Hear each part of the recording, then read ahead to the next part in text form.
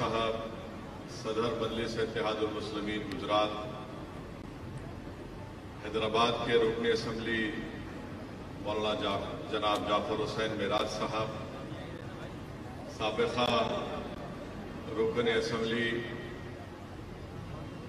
جناب محترم وارث پٹھان صاحب اور تمام میرے مجلس کے رخا معزز حاضرین اکرام آپ تمام کا بہت شکریہ کہ آپ نے اپنا قیمتی وقت نکال کر آج کے اس عید ملن کی تقریب میں آپ نے شرکت کی۔ میں مولانا حبیب صاحب کا بھی شکریہ ادا کرتا ہوں کہ انہوں نے ہم کو یہاں پر آنے کی دعوت دی۔ میرے عزیز دوستوں اور بزرگوں، میں میڈیا کا بھی شکریہ ادا کرتا ہوں کہ وہ آج کی اس عید ملن کی تقریب میں آئے۔ اور انہوں نے مجھے وہاں سے یہاں پر لا کر کھڑا کر دیا تاکہ میں جو بولوں وہ آواز صحیح طریقے سے پہنچا سکے۔ کیونکہ وہی ان کو ہی لگتا ہے کہ ایئر کولر کے درمیان میں ہماری آواز صحیح طریقے سے ان کے ٹی وی کے کیمرے پر نہیں سنائی دے گی۔ تو مجھے کوئی اعتراض نہیں ہے، آپ کہیں پر کھڑا کریے، میں بولنے تیار ہوں۔ اور میں بدنام بھی اسی لیے بھی ہوں کہ میں زیادہ بولتا ہوں۔ میرے عزیز دوستوں اور بزرگوں، عید ملن کی تقریب ہے۔ میں اللہ سبحانہ و تعالیٰ سے دعا کرتا ہوں کہ اللہ سبحانہ و تعالیٰ ہم تمام کو جو اللہ نے توفیق دی اور اللہ کے فضل سے ہم تمام نے ماہ رمضان مبارک میں پورے روزے رکھے۔ نمازیں پڑھی، تراویح کی نماز پڑھی شب بیداری کی زکوٰۃ نکالی۔ اللہ سے دعا ہے کہ اللہ سبحانہ و تعالیٰ ہماری ان تمام عبادات کو اللہ قبول فرمائے اور جو ہمارے ذہن، سوچ اور فکر اور خلق میں ایک تبدیلی پیدا ہوئی ماہ رمضان مبارک کی وجہ سے، اللہ سبحانہ و تعالیٰ اس تبدیلی کو جاری اور ساری رکھے آنے والے گیارہ مہینے میں۔ مجھے یہاں پر ایک عالم دین کے اس الفاظ یاد آ رہے ہیں کہ انہوں نے امام غزالی رحمۃ اللہ علیہ کو کوٹ کرتے ہوئے کہا کہ رمضان کے بعد امام غزالی نے لکھا کہ صحابہ اکرام دعا کرتے تھے کہ اللہ آئندہ رمضان ہم کو ملے۔ تو میرے عزیز دوستوں اور بزرگوں اللہ سبحانہ و تعالیٰ سے دعا ہے کہ اللہ سبحانہ و تعالیٰ ہم کو صحت سے رکھے، ہمارے ایمان کو اللہ مضبوط اور کرے، اور جب تک اللہ ہم کو اس دنیا میں رکھے گا، اللہ ہم کو توفیق دے کہ ہم کو رمضان بھی ملے اور روزے بھی رکھیں، تراویح کی نمازیں بھی پڑھیں اور شب بیداری کرتے رہیں۔ میرے عزیز دوستوں اور بزرگوں معزز علماء اکرام کی موجودگی میں لب کشائی کر رہا ہوں۔ میں صرف اتنا ہی کہنا چاہوں گا کہ ہم کو حالات سے مایوس ہونے کی ضرورت نہیں ہے۔ ہم کو حالات سے مایوس ہرگز ہونے کی ضرورت نہیں ہے، بلکہ ہم کو اپنے حوصلے کو بلند رکھنا ہے اور اللہ کی ذات پر مکمل توکل کر کے ہم کو اللہ کی راہ میں جد و جہد کرنا ہے، صبر کرنا ہے، اور ہم کو ہمت سے اپنے حوصلوں کو بلند رکھنا ہے، کمر بستہ ہونا ہے، اور صرف اللہ سے ڈرتے رہنا ہے۔ اگر ہم اپنے ہمت کو کمزور کر لیں گے حالات سے مایوس ہو جائیں گے، تو پھر باطل طاقتیں اپنے مقصد میں کامیاب ہو جائیں گی۔ جیسا کہ ابھی مفتی اسماعیل صاحب نے سورہ آل عمران کی اس آیات کو پڑھا اور اس کا ترجمہ کیا کہ نہ غمگین ہو، نہ سست ہو، یاد رکھو تم ہی غالب ہوگے اگر تم مومن ہو۔ تو ہم کو نہ سست ہونا ہے، نہ غمگین ہونا ہے، بلکہ اپنے حوصلوں کو بلند رکھتے ہوئے نیک کام کو کرنا ہے۔ جب تک دنیا رہے گی، جب تک اللہ دنیا کو باقی رکھے گا یہ حق اور باطل کا مقابلہ چلتا رہے گا۔ تو اسی لیے ہم کو حق کی سربلندی کے لیے کام کرنا ہے۔ یقیناً نامہ صاحب حالات ہیں۔ یقیناً مشکلات کا دور ہے۔ یقیناً ہم اور آپ کو خاک اور خون کے طوفانوں سے گزرنا پڑ رہا ہے۔ یقیناً ہم دیکھ رہے ہیں کہ انسانوں کو کس طرح تڑپایا جا رہا ہے۔ مگر میرے عزیز دوستوں اور بزرگوں اللہ کے رسول صلی اللہ علیہ وسلم نے ارشاد فرمایا کہ مجھے بہت ستایا گیا اور میرے بعد کسی کو اتنا نہیں ستایا جائے گا۔ تو ہم کو اپنے حوصلوں کو بلند رکھنا ہے۔ یہ سمجھیے کہ یہ جو نظارے آپ اور ہم دیکھ رہے ہیں کہ کسی کا ہاتھ کٹا ہوا ہے، مگر اس کی دکان کو اس لیے توڑ دیا گیا کیونکہ اس نے پتھر پھینکا ہے۔ یہ بھی ہم دیکھ رہے ہیں۔ ہم یہ بھی دیکھ رہے ہیں کہ کسی کو پتھر پھینکنے کے الزام میں اس کے گھر کو، اس کے دکان کو، کاروبار کو ختم کر دیا جاتا ہے، کبھی گودان کو توڑ دیا جاتا ہے۔ مگر ہم کو یہ یاد رکھنا ہے کہ شاید بن ابی طالب میں تین سال رسول اللہ صلی اللہ علیہ وسلم اور صحابہ کرام کا سماجی بائیکاٹ کیا گیا تھا۔ تین سال تک۔ مگر اللہ سبحانہ و تعالیٰ نے کامیاب حق کو کیا۔ ہم کو اس بات کو بھی یاد رکھنا ہے کہ عہد کا میدان ہے اور اللہ کے رسول صلی اللہ علیہ وسلم کے دندان مبارک شہید ہوئے۔ ہم کو اس بات کو یاد رکھنا ہے کہ خندق ہے اور رسول اللہ صلی اللہ علیہ وسلم نے اپنی پیٹ مبارک پر دو دو پتھر باندھ لیے۔ ہم کو اس بات کو یاد رکھنا ہے کہ کعبے کا سہن ہے جس میں مبارک پر اونٹ کی اجڑی ڈالی گئی۔ ہم کو اس بات کو یاد رکھنا ہے کہ کعبے اور مکے کی سرزمین پر حضرت بلال کو تکالیف دی گئی۔ ہم کو اس بات کو یاد رکھنا ہے کہ حضرت سمیہ کو ابو جہل نے لیزا مار کر شہید کر دیا۔ ہم کو اس بات کو یاد رکھنا ہے کہ جنگ بدر کا ذکر مفتی اسماعیل صاحب نے کیا کہ کیسے اللہ سبحانہ و تعالیٰ نے جن کے پاس پہننے کو کپڑے نہیں تھے، جن کے پاس کھانے کو کھانا نہیں تھا، اللہ نے کمزوروں کو، طاقتوروں پر غالب کیا، ان کو کامیاب کیا۔ ہم کو ہرگز اس بات کو نہیں بھولنا ہے کہ کربلا کا میدان ہے، یزید ہے، اور اللہ نے نواز رسول امام حسین کو کامیاب کیا۔ میرے عزیز دوستوں اور بزرگوں آج موجودہ ملک کے حالات کا اگر ہم جائزہ لیں گے تو صرف ہم کو اپنے ہمت اور حوصلے کو بلند رکھنا ہے، صبر سے کام لینا ہے اور ان باطل طاقتوں سے ہم کو بالکل ہمت کے ساتھ اور صرف اللہ سے ڈرتے ہوئے ان سے ڈر کر، ان سے ڈر کر نہیں، بلکہ صرف اللہ سے ڈر کر ان سے مقابلہ کرنا ہے جمہوری طریقے سے اور اللہ ہم کو کامیاب کرے گا۔ کیونکہ اگر ہم مایوس ہو جائیں گے، مشکلات کا سامنا کرنا پڑے گا۔ اور ہم مشکلات کا سامنا کرتے آئے، بلکہ میں تو اس سرزمین میں کھڑا ہوں، جہاں پر وطن عزیز میں اگر سب سے زیادہ فسادات ہوئے تو اسی سرزمین پر ہوئے۔ سب سے زیادہ چاہے وہ سکسٹی نائن کا فساد ہو، انیس سو اسی کا فساد ہو، شہادت بابری مسجد کے بعد کا فساد ہو، دو ہزار دو کا وہ جنسائڈ ہو۔ مگر میں سلام کرتا ہوں اس سرزمین پر بسنے والے لوگوں کو کہ انہوں نے ہمت سے سینہ تان کر آج بھی زندہ اور فخر کے ساتھ اپنی زندگی گزار رہے ہیں۔ تو میں آپ سے صرف یہی گزارش کرنے آیا ہوں کہ آپ ایک جیالو، آپ جیالے ہیں اور آپ ایسی سرزمین پر ان اندھیروں میں ایمان کے شمع کو اللہ کے فضل و کرم سے اللہ نے آپ کے ذریعے سے اس شمع کو اللہ جلائے رکھا ہے۔ میری آپ سے یہی گزارش ہے کہ آپ ایک سیاسی طاقت بنیے، آپ ایک سیاسی قوت بنیے۔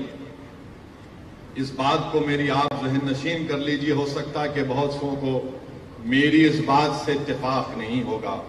مگر میں آپ کو پوری ذمہ داری کے ساتھ کہہ رہا ہوں کہ جس وطن عزیز کے لیے ہم نے اپنا خون پسینہ بہایا، جس وطن عزیز کو آزاد کرانے کے لیے ہمارے علماء کرام نے جہاد کا فتوا دیا، سولی پر چڑھ گئے، مالٹا کی جیل میں مسائب اور مشکلات کا سامنا کیا۔ جس وطن عزیز کے لیے ہمارے علماؤں کو جیل کی صحبتیں کاٹنی پڑی، آج ہمارے وطن عزیز میں ہم سے یہ کہا جا رہا ہے کہ تمہاری بات کو نہیں سنا جائے گا۔ میرے عزیز دوستوں اور بزرگوں، اگر ہم خاموش بیٹھ جائیں گے، تو یاد رکھیے ہم ان مجاہدین آزادی کو خراج عقیدت نہیں، بلکہ ہم ان کو دھوکہ دے رہے ہیں، ان کی روحوں کو دھوکہ دے رہے ہیں، بلکہ ان کی قربانیوں کو زندہ رکھنا ہے۔ تو ہم کو ایک زندہ رہ کر اپنے مسائل کو جمہوری طریقے سے بے باکی کے ساتھ اور اپنے حوصلہ اور ہمت کو بلند کر کے ہم کو اپنے مسائل کو کرنا ہے۔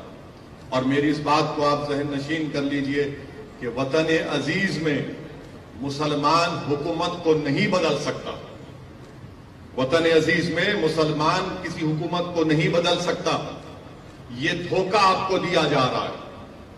اور ہم ہمیشہ یہ بات سمجھتے تھے کہ ہمارا ووٹ بینک ہے، آپ کا کوئی ووٹ بینک کبھی نہیں تھا۔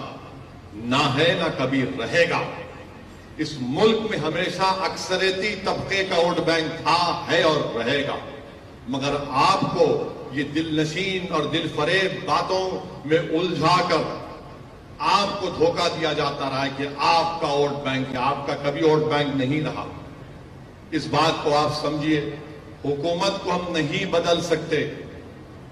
اگر بدل سکتے تو بھارت کی پارلیمنٹ میں اتنے کم مسلمان رکنے پارلیمان کیوں منتخب ہو کر آتے؟ ہیں اگر حکومت کو بدل سکتے تو پھر سرزمین گجرات سے آخری مرتبہ ایک مسلمان رکن پارلیمان کب ہوا تھا؟ کب ہوا تھا اور کیوں نہیں جیتا؟ اور اگر ہم حکومتوں کو بدل سکتے تو پھر بابری مسجد کی جگہ کورٹ کا فیصلہ بھی آ گیا۔ اب گیان واپی کا مسئلہ شروع ہو گیا۔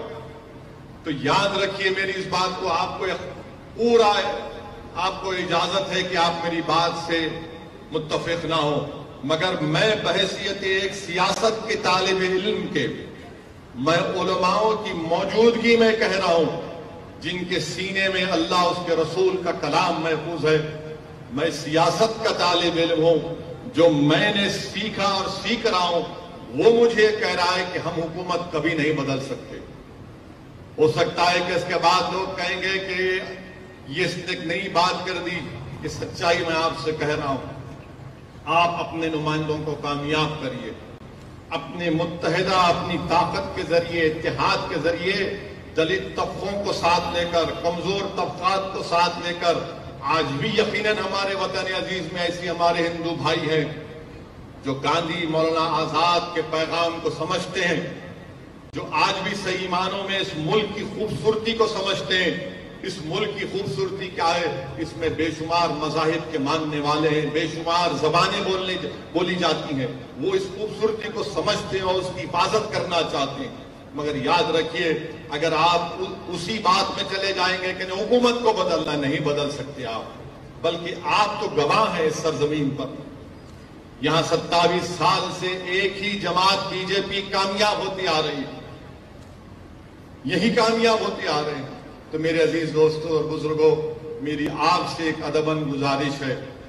آپ اتفاق مت کریے، مگر میری اس بات پر ذرا سوچئے میری اس بات پر سوچئے اگر اس میں سچائی ہے، تو آپ میرا ساتھ دیجیے۔ اگر آپ کو لگتا ہے کہ اسد الدین اویسی لفاظی کر رہا ہے، تو آپ اس کو مسترد کر دیجیے۔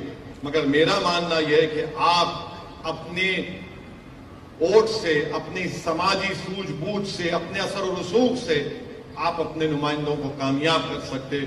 یہی بات میں آپ کو کہنے آیا ہوں۔ یہی بات میں آپ سے گزارش کرنے آیا ہوں اور آپ کو یہ بھی بتانے آیا ہوں اور حکومت کو بھی یہ بتا رہا ہوں کہ ہم نے ایک بابری مسجد کو کھویا آپ دوسری مسجد کو ہرگز نہیں کھوئیں گے، یاد رکھیں۔ تم نے مکاری اور ایاری سے انصاف کا قتل کر کے تم نے ہماری مسجد کو ہم سے چھینا، اب دوسری مسجد نہیں چھین پاؤ گے، یاد رکھو اب ہم تمہاری ان باتوں کا بھروسہ نہیں کرنے والے۔ کہ ہم بچائیں گے نہیں، تم نہیں بچاؤ گے، اب ہم بچائیں گے اپنے مساجد کو، اپنی تہذیب کو، انشاءاللہ۔ جو لوگ آ کر مجھ سے کہتے ہیں کہ نہیں نہیں، ہم ہیں، تم نہیں ہے تم کبھی ہمارے ساتھ نہیں تھے، تم تو ہمارے جنازے جب آتے، تم آ کر دو دکھاوے کے آنسو بہا کر چلے جاتے ہو۔ اور اس کے بعد ہماری بربادی بربادی کے افسانے، کوئی لکھ کر کوئی کتاب لکھ دیتا ہے، کوئی مضامین لکھ دیتا ہے، اس کو کوئی اوارڈ مل جاتا ہے۔ میرے عزیز دوستوں اور بزرگوں میں آپ کے درمیان میں ذمہ داری کے ساتھ کھڑے ہو کر کہہ رہا ہوں کہ گیان واپی مسجد مسجد تھی اور ہے اور رہے گی انشاءاللہ تعالی۔ نائنٹین نائنٹی ون کا قانون یہ کہتا ہے کہ پندرہ اگست نائنٹین فورٹی سیون کو جو مسجد مندر تھی وہ برقرار رہے گی۔ اور اگر کوئی اس کے نیچر اور کیریکٹر میں تبدیلی پیدا کرنا چاہے گا تو نائنٹی ون کا پارلیمنٹ کا قانون کہتا ہے کہ ان پر کیس بک کرو، جیل بھی جاؤ اور اگر کورٹ نے فیصلہ دیا تو تین سال کی سزا۔ تو یہ چیز کو آپ کو سمجھنا ہے۔ چوتھی چیز میں آپ کو بتانا چاہ رہا ہوں کہ یہ جو فرقہ پرست طاقتیں ہیں اور فرقہ پرست طاقتیں صرف بی جے پی نہیں ہے، اس میں کانگریس بھی ہے، عام آدمی پارٹی بھی ہے، سماجوادی پارٹی ہے، یہ سب یہ چاہتے ہیں کہ مسلمان صرف گھر میں مسلمان رہے، جب گھر کے باہر رہے، نکلے تو مسلمان نہ رہے۔ میں تھالی مارنے کے لیے نہیں کہہ رہا ہوں۔ ان کا مقصد ایک ہی ہے کہ آپ مسلمان رہے تو صرف گھر میں رہے گھر کے باہر جب نکلو گے تو ہماری تہذیب کو تم کو احترام کرنا پڑے گا۔ اس ملک میں میری اور تمہاری تہذیب نہیں ہے، اس ملک کی خوبصورتی ہے کہ اس کا کوئی مذہب نہیں ہے۔ اس ملک کی طاقت یہ ہے کہ اس کی کوئی تہذیب نہیں ہے۔ مگر یہ طاقت یہ چاہتی ہیں کہ جب آپ گھر سے نکلیں تو اپنی تہذیب کو، اپنی پہچان کو، اپنی شناخت کو چھوڑ کر نکلیں۔ یہ بھارت کا سمویدھان بھارت کا آئین اس بات کی اجازت دیتا ہے کہ آپ اپنے کلچر پر چلیں۔ اگر کوئی پوچھے گا کون سی آرٹیکل ہے سمویدھان کی تو بھارت کا سمویدھان جس کو امبیڈکر نے بنایا، وہ آرٹیکل ٹوینٹی نائن، انتیس ہے۔ تو ہم اپنی تہذیب کو، اپنی شناخت کو برقرار رکھیں گے۔ گھر میں بھی رکھیں گے، گھر کے باہر بھی رکھیں گے۔ اور جو میں بات آپ سے کہہ رہا تھا کہ حکومت نہیں بدل سکتے، کوئی پوچھے گا کہ بتاؤ ویسے اس کی مثال دو، ثبوت دو، پروف دو۔ گیان واپی مسجد کا مسئلہ چل رہا ہے۔ کیا کانگریس بولتی ہے؟ کیا سماجوادی پارٹی بولے گی؟ کیا بی ایس پی بولی کوئی نہیں۔ سب خاموش بیٹھے ہیں۔ یہ اس لیے خاموش بیٹھے ہیں کہ آپ کا ووٹ بینک نہیں ہے۔ آپ کا ووٹ بینک نہیں ہے نا آپ کا ووٹ بینک تھا کبھی۔ یقیناً مجھے اندازہ ہے کہ میرے آج کی اس تقریر کے بعد شام میں چھ بجے سے ہمارا نکاح شروع ہو جائے گا۔ تو روز کی عادت ہے، بغیر ہمارے دکھائے ان کا ٹی وی بکتا نہیں ہے۔ مگر سچائی یہی ہے، کیوں نہیں بولتے بھائی آپ؟ اگر آپ بی جے پی سے علیحدہ ہیں، مختلف ہیں تو بولو نا۔ بولیے، نہیں بولیں گے۔ اس لیے نہیں بولیں گے کہ ان کو معلوم کہ مسلمان ان کا، ان کو ہم نے مسلمانوں کے ذہنوں کو خرید کیا سمجھتے۔ ان کو صرف ڈراؤ اور ڈراؤ اور ان سے صرف کہو حکومت بدلنا ہے۔ حکومت بدلنا اگر چیف منسٹر کسی کو بننا ہے، کسی کو پردھان منتری بننا ہے، تو اس کو بھارت کو بچانا ہے۔ اگر وہ اپنی پارٹی کو بچائے گا، تو بھارت کمزور ہو جائے گا، یاد رکھنا اگر بھارت کو مضبوط رکھنا ہے، تو یہاں پر بسنے والے ہر شخص کو عزت کی زندگی کے ساتھ جینے کا موقع ملنا چاہیے۔ یہ کیسے ہو سکتا ہے کہ جس کا ہاتھ کٹا ہوا ہے، اس کے آپ دکان کو توڑتے ہیں؟ جو پچہتر سال کا بوڑھا ہے، اس کو مار مار کر کہتے کہ تم نے پتھر پھینکا۔ یہ کون سی عزت ہم کو دی جا رہی ہے کہ بغیر کوئی قانونی کاروائی کے ہمارے گھروں کو توڑ دیا جاتا ہے؟ مسجد کے سامنے کی گیٹ کو توڑ دیا جاتا ہے۔ بازو دوسری عبادت کا ہے ہاتھ نہیں لگایا جاتا۔ خبر کو مسمار کر دیا جاتا۔ سامنے کسی اور کی عبادت کا ہے۔ بھارت کی دارالحکومت دلی میں کچھ نہیں کیا جاتا اور کوئی نہیں بولتا۔ کوئی نہیں بولتا۔ ہم جب دلی میں تھے، میں گیا تو رات میں کسی نے مجھ سے کہا کہ کیا ہو اسی تم بھی نہیں آؤ گے؟ میں نے کہا، میں آیا اسی لیے ہوں۔ تو بولے، آپ آ کر جاؤ، اس مسجد میں آؤ۔ آؤ اس مسجد میں آ کر آپ دیکھو کہ سامنے مسجد کے سامنے دیوار کو اور گیٹ کو منظم کر دیا گیا۔ میں رات میں گیا وہاں پر۔ مگر میرے عزیز دوستوں اور بزرگوں، یسد الدین اویسی ایک سے ہونے والا کام نہیں ہے اور اللہ مجھ سے اگر کام لے رہا ہے تو اللہ کا کرم میں یہاں پر بیٹھ کر میری تعریف میں بہت جملے سنا۔ اللہ مجھے معاف کرے کیونکہ تعریف صرف اللہ کی ہو سکتی اور کسی کی نہیں ہو سکتی۔ اور اللہ نے مجھے موقع دیا، عزت دیا تو اللہ کا کرم ہے۔ یہ دعائیں ہیں اولیاء اللہ کی، یہ صدقہ ہے نبی کریم صلی اللہ علیہ وسلم کا۔ یہ اہل دل کی توجہ ہے مجھ پر کہ یہ جیسا ادنا شخص گناہگار کچھ بول سکتا ہے۔ ایوانوں میں، باطلوں کے سامنے، ظالموں کے سامنے۔ تو میرے عزیز دوستوں اور بزرگوں آپ مندلس کو اپنائیے۔ آپ مندلس کو مضبوط کریے۔ آپ اسد الدین اویسی کا ساتھ مت دیجیے، آپ صابر بھائی کا ساتھ مت دیجیے، بلکہ آپ ایک مرتبہ اپنا ساتھ دیجیے۔ آپ ایک مرتبہ اپنا ساتھ دیجیے۔ علامہ اقبال نے کیا خوب کہا تھا اس شعر میں کہ اگر تو میرا نہ بن سکا تو اپنا بن۔ نے کیا کہا تھا علامہ اقبال نے کہ اپنے من میں ڈوب کر پا جا سراغ زندگی تو اگر میرا نہ بن سکا تو اپنا تو بن۔ اور آخری بات کہ ہاں الزام مجھ پر لگتا ہے اور لگتا رہے گا، مگر الزام لگانے والوں یاد رکھو، یہ دنیا فانی ہے۔ تم کو بھی جواب دینا پڑے گا، اللہ کے سامنے میں بھی کھڑا رہوں گا۔ تم کو اللہ کے دربار میں ان الزامات کا جواب دینا پڑے گا۔ مجھے تمہارے الزام کی کوئی فکر نہیں۔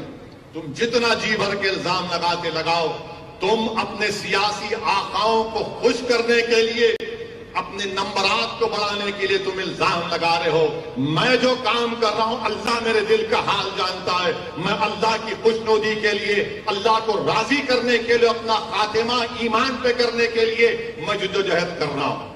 کامیابی آج نہیں ملی، کل ملے گی۔ اگر کل بھی نہیں ملے گی تو اشر کے میدان میں مجھے ملے گی انشاءاللہ ہوتا۔ مجھے اپنے اعمال پر بھروسہ نہیں ہے، مجھے اللہ کی رحمت پر بھروسہ۔ مجھے اللہ کی فضل پر بھروسہ ہے۔ اور یہی چیز ہے جو ہم کو یہاں تک لے کر آئی۔ اگر اسعودین اویسی حیدرآباد کو چھوڑ کر گجرات کو آتا ہے، بہار کے سیمانچل کو جاتا ہے، راجستھان کو جاتا ہے، تو کیا چیز ہے؟ یہی چیز ہے کہ یہ وقت ایسا ہے کہ آپ کو جمہوریت میں اپنی آواز کو، اپنے نمائندوں کو کامیاب کرنا۔ لوگ بہت سی باتیں کرتے ہیں۔ ارے، کیا کر لیں گے آپ؟ میرے عزیز دوستوں اور بزرگوں بھارت کی پارلیمنٹ میں پانچ سو چالیس کے ایوان میں صرف دو رکن پارلیمان ہیں۔ میں اور امتیاز دلیل اور اللہ کا اتنا بڑا کرم اور اللہ کا فضل ہے کہ اللہ ارحم الراحمین ہے کہ جب کبھی بھی ہم کھڑے ہو کر پانچ چھ منٹ کے لیے غریب اور مظلوم عوام کے انصاف کے لیے وہ آواز اٹھاتے ہیں، تو پورا پارلیمنٹ کھڑے ہو کر بیٹھ کر سنتا ہے کہ اب یہ کیا بولنے والے ہیں، سنو۔ میرے عزیز دوستو بزرگوں کیا گجرات کی ودھان سبھا میں ہم یہ مزاج نہیں پیدا کر سکتے؟ کیا گجرات کی ودھان سبھا میں جب آپ کے نمائندے جائیں گے تو آپ کی آواز، آپ کے مسائل، آپ کی تکلیف کا اظہار کریں گے۔ حکومت سے اس کا سوال، جواب طلب کریں گے۔ مگر صرف ووٹ ڈالنا ووٹ ڈالنا، ووٹ ڈالنے سے کچھ نہیں ہوتا۔ جیتنا اصل مقصد ہے۔ ہم صرف ووٹ ڈالنے والے بلکہ ووٹ لینے والے نہیں بن رہے۔ جب ووٹ لینے کا معاملہ آتا، نہیں ہے یہ بی ٹیم ہے، یہ فلاں ملا ہوا ہے، یہ ان سے ملا ہوا ہے، ان سے ملا ہوا ہے۔ میں آپ سے اپیل کر رہا ہوں کہ ان کے کوئی دلائل میں سچائی نہیں ہے۔ یہ صرف بوکلاہٹ کا شکار ہو کر اپنی انانیت میں اور اپنی عزت اور اپنی طاقت کو، جو طاقت جو ان کو اللہ نے دی، وہ سمجھتے ہیں کہ اپنے لیے استعمال کریں گے۔ میرے عزیز دوستوں اور بزرگوں، آپ متحد رہیے۔ یہاں پر بے شمار مسائل ہیں، بہت سے مسائل ہیں۔ ابھی ہمارے کو بتایا گیا کہ ولی گجراتی کی خبر کو دو ہزار دو کے فسادات میں مسمار کر دیا گیا۔ جب کورٹ نے کہا کہ بناؤ، تو وہاں پر کانگریس کی سر چیئرمین تھا، نہیں بنایا گیا۔ نہیں بنایا گیا۔ اب تو کانگریس پارٹی میں احمد پٹیل صاحب مرحوم کہ اس دنیا سے چلے جانے کے بعد تو کوئی نام کا بھی وہاں پر کوئی نہیں مگر یہی لوگ ہیں، کمزور لوگ ہیں۔ ان کا کام صرف یہی ہے کہ الزام لگاؤ۔ یہ ڈراؤ، وہ بی ٹیم ہے، وہ فلاں ہے، امکا ہے۔ میرے عزیز دوستوں اور بزرگوں، آپ سے پھر سے کہہ رہا ہوں کہ آپ اپنے نمائندوں کو کامیاب کر سکتے ہیں۔ آپ متحد طور متحد ہو جائیے، اپنے نمائندوں کو کامیاب کریے اور اللہ سبحانہ و تعالیٰ سے پوری امید رکھیے۔ ہم کو نا امید ہونے کی ضرورت نہیں ہے۔ اللہ قرآن میں فرماتا لا تقنطوا من رحمت اللہ، کہ میری رحمت سے مایوس مت ہو۔ یہ حالات ہیں، بدلیں گے حالات، یاد رکھیے آپ۔ جو دنیا میں آیا وہ جائے گا۔ وہ دنیا میں آیا، وہ جائے گا ایک دن۔ اور ہم کو اللہ سے پوری امید رکھنی ہے۔ مجھے یہاں پر جب میں بیٹھا تھا، تو مجھے بانی جوبن کا ایک شعر یاد آیا۔ علماء اکرام مجھے معاف کریں کہ بانی دوبند نے کہا تھا، فرمایا تھا کہ مدد کر ہے کرم احمدی، کہ تیرے سوا قاسم بیکس کا کوئی نہیں ہے۔ کارساز میرے عزیز دوستوں اور بزرگوں ہم کو اپنے اللہ سے رشتے کو رسول اللہ صلی اللہ علیہ وسلم سے نسبت کو مضبوط رکھنا اور جب یہ رشتہ مضبوط ہوگا، ان تمام لوگوں کے چہرے آپ کے سامنے آ جاتے ہیں، جو مختلف باتیں کرتے ہیں، مختلف پروگرام ان کے ہیں۔ مگر اب یہ جو ملک میں جو مسائل ہیں، یاد رکھیے میری اس بات کو، یہ اندھیری رات لمبی رہنے والی ہے۔ یہ اندھیری رات لمبی رہنے والی ہے۔ اگر اس اندھیری رات میں آپ کو چراغ جلانا ہے تو آپ ایک سیاسی نمائندوں کو کامیاب کریے جو آپ کی آواز بن کر جائیں گے، جو آپ کے مسائل کو اٹھائیں گے۔ اللہ ہی جانتا غیب کا حال تو اللہ جانتا ہے، مگر جو ہم کو سمجھ میں آ رہا ہے، یہ حالات اور بڑھیں گے۔ یہ تمام چیزیں اور بڑھتی جائیں گی، مگر ہم کو ہمت کو بلند رکھنا ہے۔ اور میں ختم کرنے سے پہلے مجھے کسی نے ایئرپورٹ پر پوچھا کہ یہ یہ ڈیمالیشن کیوں ہو رہا ہے؟ یہ تاج محل کے نیچے کیوں دیکھا جا رہا ہے؟ یہ گیان واپی کے نیچے کیوں دیکھا جا رہا ہے؟ تو بھارت کے پردھان منتری نے من کی بات میں کہا تھا کہ کبھی کبھی مزاح کرنا چاہیے۔ جو کرنا چاہیے۔ سنا ہوگا آپ نے من کی بات۔ کہا تھا کہ کبھی کبھی لطیفہ بولنا چاہیے۔ تو آخری بات کہہ کر ختم کرتا ہوں۔ مجھے لگتا ہے کہ یہ جو تاج محل کے نیچے جو کمروں کی بات ہو رہی ہے گیان واپی کے نیچے کیا ہے دیکھنے کی بات ہو رہی ہے، وہ اصل میں یہ ہے کہ پدھان منتری کی ڈگری تلاش کر رہے ہیں entire M A political science degree تو ملتی نہیں ہے۔ تو بولے نہیں، تاج محل کے نیچے ہوگی بھائی، بھارت کا پردھان منتری تاج کے نیچے ہوگی۔ بھارت کا پردھان منتری گیان واپی کے نیچے ہوگی۔ پردھان منتری سیریس مت لیجیے، دل پہ مت لیجیے، ورنہ پھر کوئی انکاؤنٹر ہو جائے گا۔ اور میڈیا والا سے بول رہے کہ ہم نے جوگ کیا۔ آپ کے بادشاہ سلامت کے تعلق سے مذاق کیا، دل پہ مت لیجیے تو بہرحال میرے عزیز دوستوں اور بزرگوں، علماء اکرام آپ کا بہت شکریہ۔ اور میں حبیب صاحب کا بھی بہت شکریہ ادا کرتا ہوں۔ اور اللہ سے میں جب پچھلے رمضان میں آیا تھا، ہمیں اسی رمضان میں، تو مجھے صابر بھائی نے بتایا کہ مولانا حبیب صاحب کو اللہ نے موقع دیا کہ وہ رمضان میں غریب، مستحق لوگوں کی بے انتہا مدد کرتے ہیں۔ میرے اللہ سے دعا ہے کہ اللہ سبحانہ و تعالیٰ آپ سے اور کام کرے اور خوب آپ مدد کریں اور اللہ آپ کے، آپ کی حفاظت فرمائے۔ اللہ آپ کے تمام ساتھیوں کی حفاظت فرمائے۔ اور اسی طریقے سے آپ کام کرتے جاری رکھیں۔ آپ کا پھر سے بہت بہت شکریہ۔